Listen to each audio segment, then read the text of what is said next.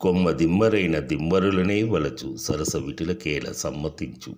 పేడ తిన్న పురుగు బెల్లమే మెరుగురా విశ్వదాభిరామ వినురవేమ. వివిధ ప్రదేశాలు పెరగనేర్చిన యువతి అటువంటి సహయాత్రికులనే కోరుకుంటుంది గాని ఫలానా వాడు అభిరుచి సేకరుడు వాడితో సరసం చేద్దామని మాత్రం అనుకోదు. పేడ తినటానికి అలవాటు పడ్డ పురుగులకు బెల్లం రుచి సహిస్తుందా అంటున్నాడు వేమన. ఈ పద్యం ఒక విటుడి మనోరథం అయి ఉండొచ్చు.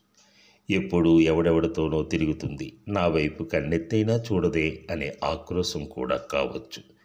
దిమ్మరి అయితే నదిలాగా రోజుకో కొత్త ప్రదేశం చూపిస్తాడు. వీడిదేముంది సరస్సులాగా ఒకే చోట పడి ఉంటాడు అని ఆమె అనుకుని ఉండొచ్చు.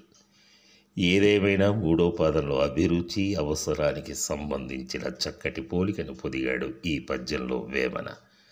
కొమ్మ అంటే చెట్టు కొమ్మ స్త్రీ అని కూడా. స్త్రీని కొమ్మ అని ఎందుకంటారు? కొమ్మ అంటే చిగురు. చిగురు కలది కాబట్టి కొమ్మ. మరి ఈ కొమ్మ? కొమరు అంటే అందం యవ్వనం కూడా.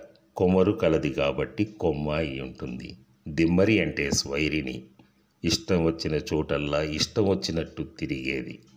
ద్రిమ్మరి త్రిమ్మరి అని కూడా రూపాలున్నాయి. త్రిమ్మరుట అంటే సంచరించటం. శ్రద్ధ లేకుండా ఊరి మీద తిరిగేవాణ్ణి పోరంబోకు అంటారు.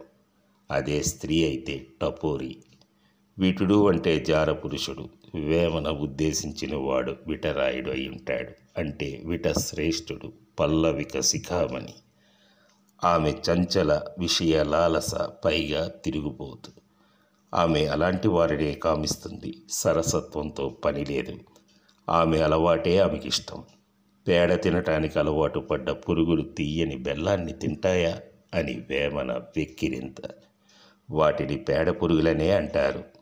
డంగ్ బీటిల్స్ అంటారు ఇంగ్లీష్లో. ఇది ఈ పద్య సారాంశం